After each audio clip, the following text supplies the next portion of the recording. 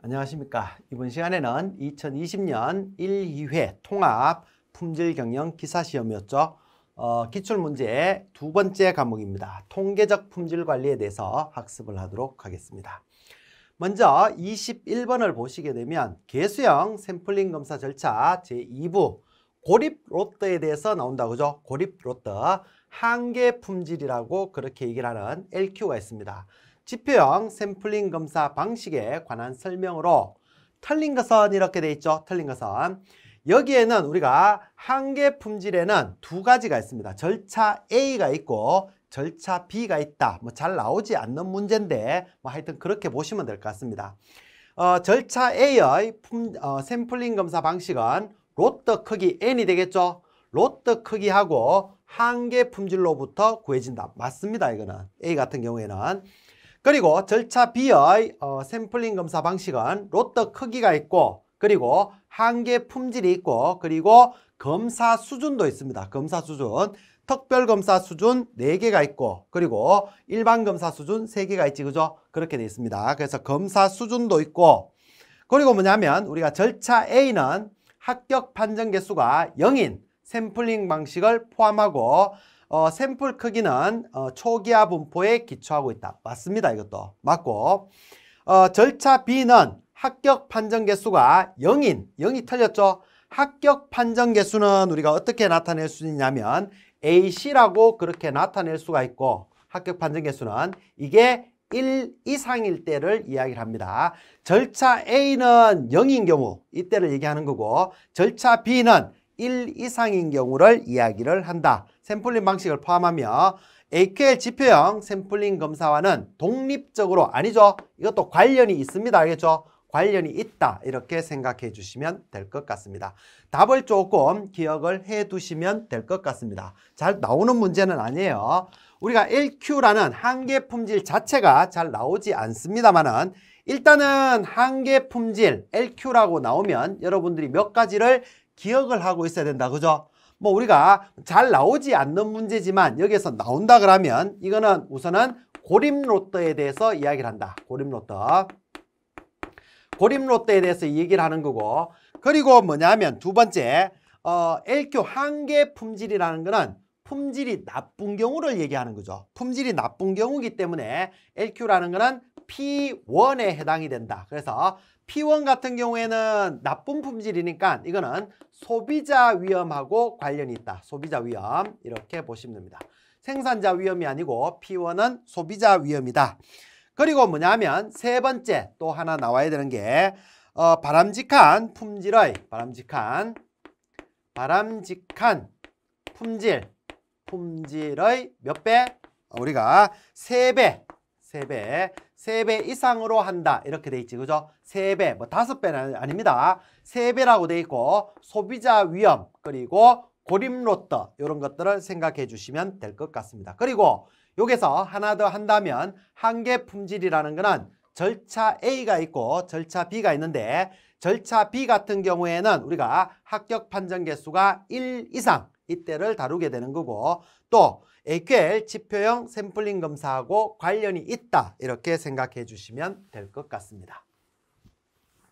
그리고 22번 문제를 한번 봅니다. 22번 문제 같은 경우에는 우리가 어떤 회기식에 대한 분산 분석표가 다음과 같다 이렇게 돼 있다 그죠? 어, 회기관계에 대한 설명으로 맞는 것은 이렇게 돼 있는데 우선은 회기가 있고 잔차가 있습니다. 그러면 회기를 우리가 R이라고 나타낼 수 있죠. 회기. 그리고 잔차는 Y, 어, X 이렇게 나타낼 수가 있을 것 같습니다. 그러면 제곱합 이 부분이 우리가 변동이다 그죠? SS라고 보시면 되겠고 그리고 자유도 이걸 갖다 우리가 DF라고 보시면 되겠죠. 그러면 여기에서 우리가 구할 수 있는 게 뭐냐면 분산을 구할 수가 있죠. MS를 구할 수가 있습니다. 이걸 분산 구할 수가 있는데 분산은 뭐냐면 변동을 자유도로 나누어서 구한다. 그죠? 그러면 5.3 나누기 2 이렇게 하면 될 것 같네요. 그러면 요 값이 얼마가 나오냐면 2.65가 나올 것이고 그리고 잔차 같은 경우에는 오차는 1.2 나누기 7 이렇게 하면 된다. 그죠? 그러면 요 값이 얼마가 나오냐면 0.17 어, 1, 4 이렇게 나온다. 그래서 분산을 구할 수가 있고 그러면 여기에 따라서 우리가 검정 통계량 F0를 구할 수가 있는데 어, 나눠주면 되겠죠? 어, 우리가 2.65를 0.1714로 나눠주면 됩니다. 그러면 요 값이 얼마가 나오느냐 하면 15.46 이렇게 해서 구할 수가 있다. 그러면 이걸 가지고 우리가 표값하고 비교를 하게 되는 거죠. F 표값으로 구하는데 여기에 보니까 어, F 요때는 알파 1 마이너스 알파로 하는 거잖아. 그죠? 그러면 여기서 R의 자유도가 2고 오차의 자유도가 7이니까 2, 7일 때 F 0.95일 때 요 값이 얼마가 되느냐면 4.75입니다. 4.75가 되는 거고 그리고 99일 때 99%일 때 F 0.99가 된다. 그죠? 이때 27일 때 이게 얼마냐 하면 어, 9.55라고 돼 있네. 보면 여기에서 어, 우리가 표값하고 비교했더니 검정 통계량 값이 이때도 크고 이게 더 크죠? 그리고 뭐냐면 99%에서도 더 큽니다. 그러면 별표가 두 개다. 그죠? 매우 유의하다. 이렇게 나타낼 수가 있겠죠. 그래서 어, 첫 번째 보면 해당 자료로는 판단할 수 없다. 말도 안 되는 거지. 그죠? 그리고 두 번째 유의 수준 5%로 회귀관계는 유의하지 않다. 아니죠? 검정 통계량 값이 더 크기 때문에 유의하다. 이렇게 나와야 되는 거죠. 그리고 세 번째 1%로 회귀관계는 유의적이다. 맞죠? 어, 우리가 표값보다 더 크니까 당연히 유의적이고 그리고 유의수준 5%로 회귀관계는 유의하나 1%로도 유의하다 이렇게 돼야 되는 거지. 알겠죠? 그래서 답은 3번 이렇게 체크를 해주시면 될 것 같습니다. 그리고 23번 문제를 한번 보도록 합니다. 23번 문제에 보면 X바 관리도에서 X의 변동을 우리 X바의 변동을 X바 시그마의 제곱 시그마 X바의 제곱이다. 그죠? 개개의 변동을 우리가 히스토그램으로 나타냈네요.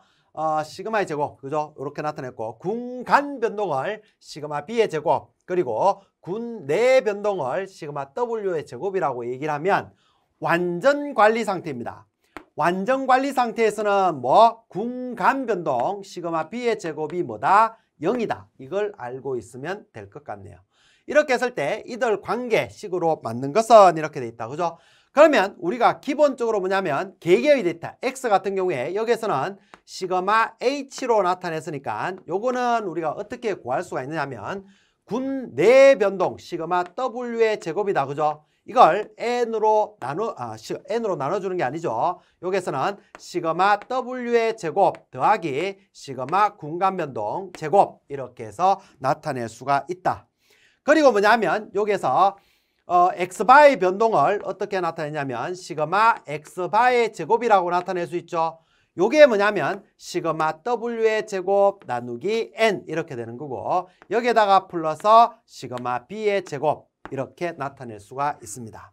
그러면 여기에서 보시게 되면 어, 우리가 관리 상태에서는 B가 군간 변동이 제로라 그랬잖아. 그죠? 그러면 이거 0으로 날아갈 것이고 여기에서도 이거 0으로 날아가겠죠? 그러면 여기에서 보면 0으로 날아가게 되면 그러면 요거는 날아갔고 여기에서 보면 다시 이걸 나타내면 시그마 W의 제곱은 이렇게 되잖아. 그죠? 그러면 이거 이쪽으로 보내면 되겠죠? N 시그마 x 바의 제곱 이렇게 나타낼 수 있습니다. 그러면 시그마 w의 제곱은 어떻게 된다고 했죠? 이거 날라갔으니까 이꼬르 n 시그마 x 바의 제곱 이렇게 나타낼 수가 있겠다. 그렇게 해서 답은 몇 번이냐 하면 1번 이렇게 찾아갈 수 있겠죠. 여기에서 핵심은 완전 관리 상태 일정에는 군간 변동은 0이다. 이걸 여러분들이 알고 계시면 좋을 것 같습니다.